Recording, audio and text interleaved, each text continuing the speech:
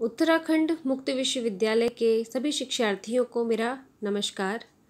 मैं हूँ डॉक्टर पूजा भट्ट, उत्तराखंड मुक्त विश्वविद्यालय के गृह विज्ञान विभाग से। आज का हमारा व्याख्यान पारिवारिक संसाधन प्रबंधन से है, जिसमें हम जानेंगे गृह प्रबंधन के विषय में। आइए जानते हैं गृह प्रबंधन को पढ़ने के क्या उद्देश्य हैं। शिक्षार्थियों जब भी आप इस गृह प्रबंधन के बारे में पढ़ेंगे, आप जान पाएँगे कि गृह व्यवस्था क्या होती है और गृह प्रबंधन की जो प्रोसेस है, वो किस प्रकार होती है।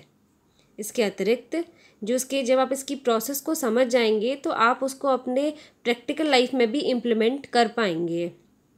क्योंकि जैसा कि आप सब जानते हैं कि हमारे चारों ओर जो भी चीज़ें होती हैं, वो किसी न किसी प्रकार से एक मैनेजमेंट के थ्रू ही होती हैं। चाहे वो घर में खाना बनाना हो, चाहे वो हमारे घर की रिपेयर हो, या फिर हम बात करें किसी भी प्रोफेशनल लेवल पे तो सब जगह ही प्रबंधन एक आवश्यक घटक है। इसलिए आप सभी के लिए बहुत आवश्यक है कि आप गृह प्रबंधन को जानें। जब हम घर प्रबंधन की बात कर रहे हैं तो आप लोगों को पता होना चाहिए कि घर एक्चुअल में किसे कहते हैं। कितनी बार आप लोग घर और मकान को एक साथ ही यूज़ करते हैं, लेकिन इन दोनों में अंतर है। जब हम बात करते हैं मकान की तो मकान से हमारा तात्पर्य एक इन्वेस्टमेंट से है, जो आपके लिए एक एसेट हो सकता है। क्योंकि मकान का अर्थ है कि ईंट, पत्थर, कंक्रीट से बना हुआ एक स्ट्रक्चर मकान है। परंतु जब उस मकान में लोग आकर रहने लगते हैं और भावनात्मक रूप से जुड़ जाते हैं तो वो मकान घर कहलाता है। इसलिए हम कह सकते हैं कि जो घर है, उससे हमारा भावनात्मक संबंध होता है, क्योंकि आपको उसी घर से आपको वैल्यूज़ मिलती हैं, जो आपके साथ लाइफ लॉन्ग चलती हैं। इसलिए ये बहुत आवश्यक हो जाता है कि आपको पता हो कि आपको उस घर का प्रबंधन किस प्रकार करना है। जब हम बात करते हैं प्रबंधन की तो जैसा मैंने आपको बताया कि प्रबंधन हर क्षेत्र में हर लेवल पर व्याप्त है, इसलिए इसका ज्ञान हर एक व्यक्ति के लिए अति आवश्यक हो जाता है। गृह प्रबंधन के विषय में आगे बढ़ने से पहले हम जानेंगे इसकी कुछ परिभाषा कि परि, पारिभाषिक रूप से इसे क्या कहते हैं। अगर परिभाषा की बात की जाए तो इसे कैसा कह सकते हैं कि गृह व्यवस्था परिवार के लक्ष्यों को प्राप्त करने के लिए परिवार के स्रोतों या संसाधनों के उपयोग हेतु किया गया आयोजन, नियंत्रण एवं मूल्यांकन है। या फिर और इसे हम सरल शब्दों में कहें तो आप कह सकते हैं कि प्रबंधन क्या होता है? हर एक की लाइफ में कुछ लक्ष्य होते हैं, कुछ दीर्घकालीन होते हैं और कुछ लघुकालीन होते हैं।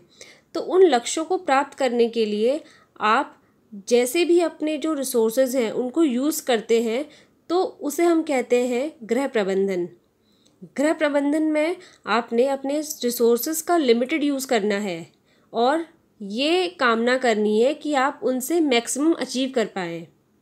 जिसके लिए आप जो घर व्यवस्था के जो डिफरेंट प्रोसेसेस हैं, जैसे आयोजन, नियंत्रण एंड मूल्यांकन, इनका यूज़ करते हैं। जब भी आप गृह प्रबंधन करते हैं तो ये तो आपने देखा कि आपने उद्देश्य तो प्राप्त कर लिए, लेकिन आपने ये भी देखना है कि जिन उद्देश्यों की प्राप्ति आपने करी है, वो आवश्यक थे या नहीं थे। इसके अलावा, क्या आपने अपने उद्देश्यों की जो पूर्ति की है, वो कुशलतापूर्वक करी है या नहीं करी है? इसके अतिरिक्त, जो सर्वोत्तम महत्वपूर्ण है, वो यह है कि आपने जिस प्रकार से अपनी गृह व्यवस्था बनाई है, उससे जो बाकी आपके फैमिली मेंबर्स हैं, उनमें भी सौहार्द बना रहे। किसी प्रकार का मनमुटाव की जगह नहीं है गृह प्रबंधन में। तो इसलिए ये सभी लोगों की संतुष्टि बहुत महत्वपूर्ण है जब भी आप गृह प्रबंधन करते हैं। आइए जानते हैं गृह प्रबंधन के विषय में थोड़ा और। देखिए, ऐसा कह सकते हैं कि गृह प्रबंधन एक प्रोसेस है। ये तब तक चलती रहेगी जब तक आपके जो उद्देश्य हैं वो पूरे नहीं हो जाते हैं। इसके अतिरिक्त, आप गृह प्रबंधन को एक ह्यूमन एक्टिविटी कह सकते हैं। भले ही कार्य मशीनों द्वारा किए जाते हों, लेकिन जो उनकी प्लानिंग कंट्रोलिंग एक्सेट्रा है, वो सब ह्यूमन ही करते हैं। तो इसलिए इसे एक मानवीय क्रिया कहा जाता है। इसके अलावा कुछ लोग कहते हैं कि ये कला है और कुछ कहते हैं कि ये विज्ञान है। इसे कला इसलिए कहा जाता है क्योंकि इसमें पर्टिकुलर पर्सन जो कि प्रबंधन कर रहा है, उसको प्रैक्टिस और अनुभव होना अत्यंत आवश्यक है। और विज्ञान की श्रेणी में इसलिए हम इसे रख रहे हैं क्योंकि आजकल बहुत सारे रूल्स एंड प्रिंसिपल्स आ गए हैं जो अप्लाई करने ज़रूरी हैं, क्योंकि उनके यूज़ से आप अपने गोल्स को इफ़ेक्टिवली अचीव कर पाते हैं। इसके अलावा जो प्रबंधन है, वो एक यूनिवर्सल एक्टिविटी है। आप देखेंगे कि समाज के हर स्तर पर प्रबंधन आवश्यक है, चाहे वो पर्सनल लेवल हो, चाहे फिर वो प्रोफेशनल लेवल हो। आइए, अब हम बात करते हैं गृह प्रबंधन के विभिन्न चरण कौन से हैं। गृह प्रबंधन में सबसे पहला चरण आता है आयोजन, अर्थात प्लानिंग उसके बाद आता है संगठन, फिर है नियंत्रण, आखिर में आता है मूल्यांकन। आइए जानते हैं नियोजन क्या है। नियोजन के विषय में ऐसा कहा जा सकता है कि यह एक प्रथम सीढ़ी है, या फिर ये एक की स्टेप है। इसके बिना आप आगे नहीं बढ़ सकते, और प्लानिंग वैसे भी आप देखिए, किसी भी चीज़ के लिए सबसे इंपॉर्टेंट पार्ट होता है प्लानिंग। अगर आपने प्लानिंग सही करी है तो ये श्योर है कि जो आपके उद्देश्य हैं, वो पूरे होंगे। इसलिए आपको प्लानिंग करते टाइम बहुत ही ज़्यादा सावधान रहना है। जो आपकी प्लानिंग है, इसमें सबसे इंपॉर्टेंट है डिसीज़न मेकिंग आती है इसमें। आपने, क्योंकि आपको पता है कि आपके पास रिसोर्सेज कौन कौन से हैं, और उन रिसोर्सेज को आपने किस प्रकार से यूज़ करना है, ये सब आएगा आपका प्लानिंग के अंतर्गत। आइए जानते हैं नियोजन की विशेषताएँ क्या क्या हैं। नियोजन एक निरंतर चलने वाली मानसिक प्रक्रिया है। इसका मतलब यह है कि आप कंटिन्यूसली किसी न किसी चीज़ के बारे में प्लान करते रहेंगे और मेंटल लेवल पे वो प्रोसेस चलती ही रहेगी आपके दिमाग में। इसके अतिरिक्त ऐसा कह सकते हैं कि ये फ्लेक्सिबल है और परिवर्तनशील है। आप किसी भी स्टेज में आके अपनी प्लानिंग को चेंज कर सकते हैं या उसमें कुछ अल्टरनेट ऑप्शन ला सकते हैं। और ऐसा कहा जा सकता है कि जब भी आपको प्लानिंग करनी है तो आपने जो आपका कार्य है, उससे पूर्व ही उसकी प्लानिंग कर लेनी है। तो इसलिए प्लानिंग हमेशा कार्य करने से पूर्व की जाती है। नियोजन एक वैज्ञानिक पद्धति है, जो कि एक क्रमबद्ध रूप से संपन्न की जाती है। तथा नियोजन का आधार लक्ष्यों एवं उद्देश्यों की पूर्ति करना है। इसका अर्थ यह है कि जब आप प्लानिंग कर रहे हैं, क्यों कर रहे हैं? अपने लक्ष्यों या उद्देश्यों की प्राप्ति के लिए ही प्लानिंग हो रही है। नियोजन में आप क्या करते हैं? जब भी आप कुछ चीज़ें प्लानिंग करते हैं तो बहुत सारे ऑप्शंस अपने पास रखते हैं। तो उन ऑप्शंस में से बेस्ट अल्टरनेटिव छाटना ही नियोजन है। और नियोजन जब भी आप कर रहे हैं तो उसका प्रैक्टिकल होना बहुत आवश्यक है। तो इसलिए जो प्लानिंग करते हैं तो वो किसी भी तरीके की नहीं होनी चाहिए। उसका एक आधार होना चाहिए, जो कि प्रैक्टिकली पॉसिबल हो। नियोजन पूर्वानुमान पे आधारित है, जिसमें कार्य को सुनियोजित तरीके से पूर्ण करने हेतु संसाधनों को संगठित किया जाता है। नियोजन के प्रकार नियोजन दीर्घकालीन भी हो सकता है और अल्पकालीन भी हो सकता है। ये डिपेंड करता है कि आपके लक्ष्य क्या है आपका। आपका उद्देश्य क्या है? किस चीज़ के लिए आप प्लानिंग कर रहे हैं? उसके हिसाब से ही आप अपने प्लानिंग को तैयार करेंगे अपने लक्ष्य के अकॉर्डिंग अब जानते हैं नियोजन के चरण क्या क्या होते हैं। सबसे पहले नियोजन का चरण है भविष्यवाणी करना। आप देखते हैं कि आपके लक्ष्य क्या हैं और उसके अकॉर्डिंग आप फोरकास्ट करते हैं कि आप ऐसा करने वाले हैं। आप फ्यूचर प्रिडिक्ट करने की कोशिश करते हैं कि हमें ऐसा करना है तो उसके लिए एक रूपरेखा तैयार करते हैं आप। फिर आप देखेंगे कि प्रॉब्लम क्या है आपकी। किस चीज़ के लिए आप पर्टिकुलर प्लानिंग कर रहे हैं। उसके पश्चात आप डिफरेंट अल्टरनेटिव तलाश करेंगे अपनी उस समस्या को समाधान करने के लिए। उसके बाद आप सबसे अच्छा जो विकल्प है, उसका चुनाव करेंगे। उसके बाद आप प्लानिंग को एग्जीक्यूट करने के लिए उत्तरदायित्व लेंगे या फिर किसी को उसकी ज़िम्मेदारी सौंपेंगे। उसके पश्चात आपके कार्यक्रम की एक रूपरेखा बनेगी। कौन सी चीज़ कब होगी और कौन उसे संपन्न करेगा।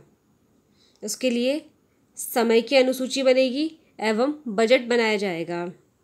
उसके बाद एक क्रियाविधि विकसित की जाएगी और लास्ट में फिर आप नीति का विकास करेंगे। आपने जैसे प्लानिंग तो कर ली है, लेकिन इसकी कुछ सीमाएँ होती हैं। सीमाएँ क्या हैं? जैसे मैंने आपको बताया कि आप बहुत सारे अल्टरनेटिव्स में से एक बेस्ट अल्टरनेटिव आपने चूज़ करना होता है। तो उसमें से आप कौन सा अल्टरनेटिव चूज़ करें, ये एक समस्या है। क्योंकि आपको नहीं पता है कि कौन सा अल्टरनेटिव चूज़ करके बेस्ट रिज़ल्ट मिलेंगे। तो यहाँ पे आपको एक समस्या का सामना करना पड़ सकता है। अगला आता है विश्वसनीय सूचनाओं के आकलन की समस्या। क्योंकि जब आप प्लानिंग कर रहे हैं तो आपको तथ्य भी इकट्ठे करने पड़ेंगे। और आप नहीं जानते कि जो तथ्य आपने इकट्ठे करे हैं, वो रिलायबल हैं कि नहीं। कितनी बार ऐसा लगता है जो ये प्लानिंग की प्रोसेस है, अरुचिकर और नीरस लगती है? क्योंकि मैंने बताया कि कोई भी गृह प्रबंध अगर कर रहा है तो उसके दिमाग में हर टाइम किसी न किसी तरह की प्लानिंग चलती रहती है। तो कितनी बार ये जो पर्सन जो मैनेजमेंट कर रहा है, उसके लिए बहुत बोरिंग हो जाता है हर टाइम कुछ ना कुछ प्लान करना। दूरदर्शिता का अभाव। प्लानिंग के लिए दूरदर्शिता बहुत इंपॉर्टेंट है। दूरदर्शिता के अभाव में किसी भी तरह का नियोजन नहीं हो पाता है। अंत में है आकस्मिकताएँ। कभी कभी ऐसी इमरजेंसी आ जाती हैं कि आपको जो आपके अल्टरनेटिव्स हैं या जो भी आपके, आपने विकल्प चुन रखे हैं, वो आपको चेंज करने पड़ते हैं। तो ये थे आपके नियोजन की सीमाएँ। अब हम नियोजन को समझेंगे एक एग्ज़ाम्पल के थ्रू चलिए बात करते हैं आपने फैमिली में एक वॉशिंग मशीन ख़रीदनी है। तो आपने अपना लक्ष्य बनाया कि आपको वॉशिंग मशीन ख़रीदनी है। ये आपका उद्देश्य है, जो कि लघुकालीन उद्देश्य है। छोटा सा लक्ष्य है तो इसके लिए जो प्लानिंग होगी, वो भी बहुत ज़्यादा लंबी नहीं होगी, छोटी ही होगी। तो आपने सोचा है कि आपने वॉशिंग मशीन ख़रीदनी है तो इसके प्लानिंग के स्टेप्स क्या होंगे? पहले आप सोचेंगे कि आपको वॉशिंग मशीन ख़रीदनी है तो पहले तो ये है कि कैसी चाहिए है? सेमी ऑटोमेटिक चाहिए फुल्ली ऑटोमेटिक चाहिए या किस प्रकार की आपको चाहिए? फिर हम सोचेंगे आपका बजट क्या है? आप बजट की ओर सोचेंगे। फिर आप सोचेंगे आपने ऑनलाइन ख़रीदनी है या फिर ऑफलाइन ख़रीदनी है। इसके अलावा फिर आप ये डिसाइड करेंगे कि किस रंग की लेनी है और किस वेट की लेनी है और कौन उसे लेगा। तो इस तरीके से आप प्लानिंग कर रहे हैं अपने घर के लिए वॉशिंग मशीन ख़रीदने के लिए। चलिए, जैसा हमने डिसाइड कर लिया है कि हमारा लक्ष्य है अपने घर के लिए एक वॉशिंग मशीन ख़रीदना। अब हम बात करते हैं संगठन की। संगठन क्या है? संगठन का मतलब ये है कि आपने कार्य को और रिसोर्सेज को एकत्रित करना है। जिस पर्सन को रिस्पॉन्सिबिलिटी दी जानी है, उसे और जो उसको कार्य दिया जा रहा है, वो और जो संसाधन है वो उसको आपने संगठित करने हैं। तो ये संगठन बहुत इंपॉर्टेंट है, क्योंकि संगठन में ये ज़रूरी है कि आप जिसको भी वो ज़िम्मेदारी दे रहे हैं, उसमें वो रुचि रखे पहले तो। इसके अलावा, रुचि रखने के अलावा दूसरी चीज़ ये है कि वो उस कार्य के योग्य होना चाहिए। यदि उसे इस विषय में ज़्यादा जानकारी नहीं है तो बहुत मुश्किल है कि वो उस कार्य को कुशलतापूर्वक संपन्न कर पाएगा। संगठन अगर आपका अच्छा है तो न्यूनतम प्रयासों से ही आप अपने लक्ष्य को पूरा कर सकते हैं। तो जैसा मैंने बताया कि हम वॉशिंग मशीन लेना प्लान कर रहे हैं तो आपने ये डिसाइड कर लिया है कि वॉशिंग मशीन जो भी आपके हेड ऑफ़ द फैमिली हैं फादर हैं, वो इसे लेंगे। लेकिन जब हम आगे बात करें संगठन की तो इसमें इंपॉर्टेंट है कि जो भी आपका कार्य हो वो प्लानिंग के अकॉर्डिंग ही होना चाहिए। और कार्य का जो डिवीज़न है, वो प्रॉपर होना चाहिए। कब कब कौन सी चीज़ें होंगी, ये होना इम्पोर्टेंट है। दूसरा यह संगठन का जो उद्देश्य है कि कार्य संपन्न होना ज़रूरी है। और जो योजना आपने बनाई है, उसको सफल बनाना इसका एक प्राइम ऑब्जेक्टिव है। इसके साथ ही, क्योंकि आपने यहाँ पे कार्य कार्य करने वाले और संसाधनों को आपस में संगठित किया है तो ये ध्यान रखना बहुत ज़रूरी है कि साधनों का अपव्यय ना हो। और जितने भी लोग उसमें आपने इन्वॉल्व हैं उस कार्य को करने के लिए, उनके बीच में अच्छा कोऑर्डिनेशन हो, ताकि लक्ष्यों की प्राप्ति भली भांति की जा सके। अगला स्टेप आता है नियंत्रण।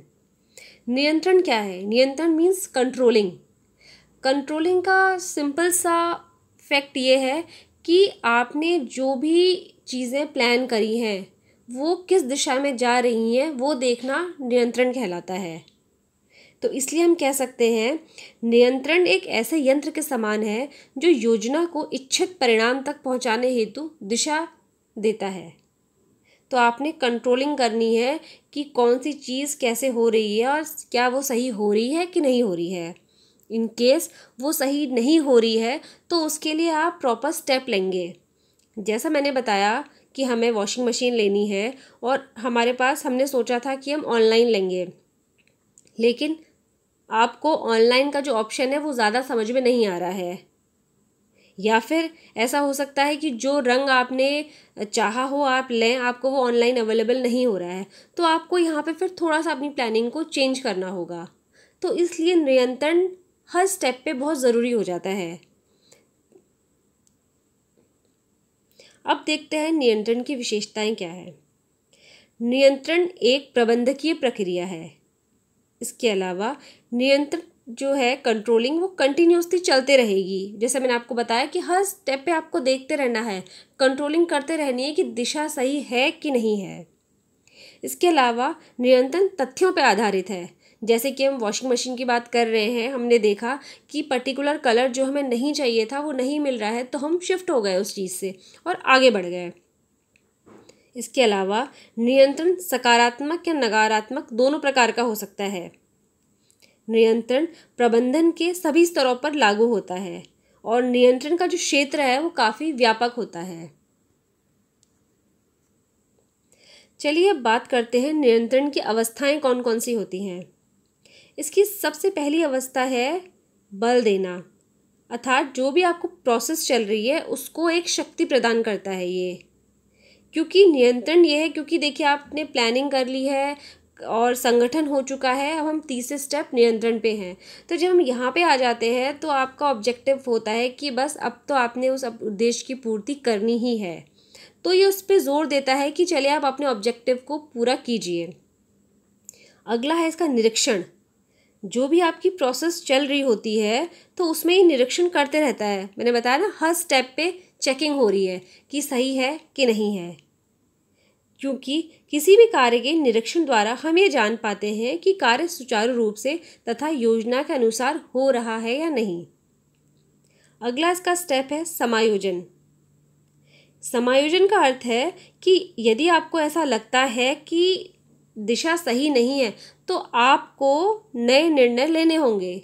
जैसा कि हमारे एग्ज़ाम्पल में बात हो रही है कि आपको ऑनलाइन वो कलर अवेलेबल नहीं है मशीन का तो या तो आप कोई दूसरा कलर लेंगे, या फिर आप ऑनलाइन नहीं खरीदेंगे ऑफलाइन ही खरीदेंगे। अंत हमारा स्टेप आता है मूल्यांकन। मूल्यांकन द्वारा हमें यह पता चलता है जो हमारे किए गए कार्य हैं, उसमें हम सफल हुए हैं या नहीं। हुए हैं तो बढ़िया है, पर अगर नहीं हुए हैं तो हमें कहाँ पर सुधार करने की आवश्यकता है, ये हमें मूल्यांकन द्वारा पता चलता है। जानते हैं मूल्यांकन के उद्देश्य क्या हैं? मूल्यांकन द्वारा यह जाना जा सकता है कि योजना बना लेने के बाद उसे, उस प्रोसेस को पूर्व निर्धारित पूर्व निर्धारित जो हमारे लक्ष्य थे उसकी प्राप्ति कहाँ तक हुई है? इसका मतलब ये है कि आप जब इवेल्युएशन कर रहे हैं तो किस लेवल तक आपने अपने ऑब्जेक्टिव्स को अचीव कर लिया है? हो सकता है कि वो आपके ऑब्जेक्टिव्स कम्प्लीटली फिल हो गए हों, पर हो सकता है कहीं कहीं पे आप चूक गए हों। मूल्यांकन से प्राप्त अनुभवों से भावी जीवन में किसी प्रकार के कार्य को प्रारंभ करने के लिए आधार मिलता है। ऐसा नहीं है कि आपका जो कार्य है, वो हमेशा सही हो अच्छा ही हो। ऐसा कहा जाता है कि हम अपनी गलतियों से सीखते हैं। तो अपनी गलतियों को आधार बना के आप नए निर्णय और नई प्लानिंग कर सकते हैं।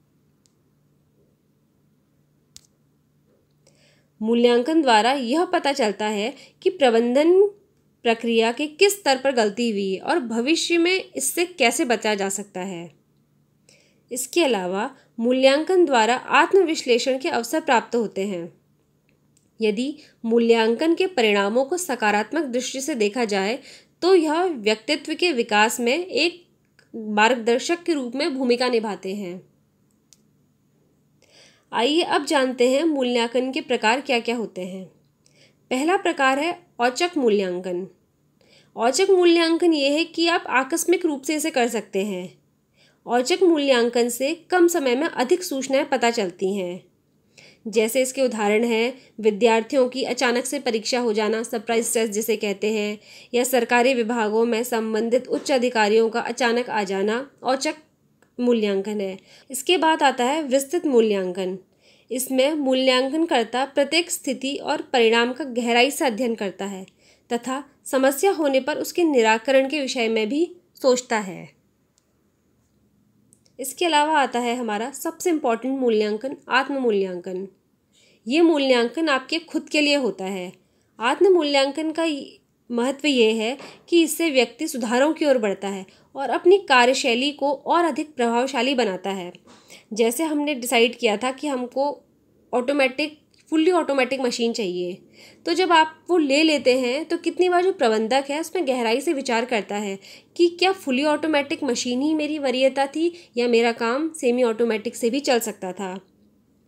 तो इस प्रकार का जो मूल्यांकन है, जब व्यक्ति खुद सोचता है, तब हम इसे कहते हैं आत्म मूल्यांकन ये थे हमारे गृह व्यवस्था के सारे ही प्रोसेस लेकिन ये प्रोसेस कभी रुकती नहीं है। इसके बाद ये प्रोसेस कंटिन्यूसली चलती ही रहती है।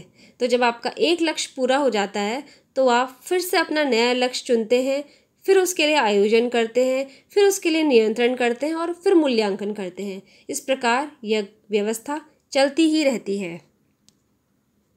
और इसी के साथ मैं अपने व्याख्यान को यहीं पे समाप्त करती हूँ। और आशा करती हूँ कि मेरे सभी शिक्षार्थियों को यह व्याख्यान उपयोगी लगा हो। धन्यवाद।